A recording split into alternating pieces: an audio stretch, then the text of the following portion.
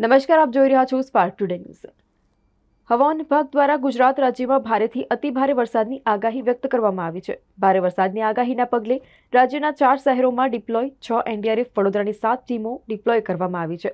ગીર સોમનાથ, દ્વારકા, ભાવનગર, નર્મદા, વલસાડ, રાજકોટ અને કચ્છમાં એનડીઆરએફની ટીમ સ્ટેન્ડ બાય કરવામાં આવી છે.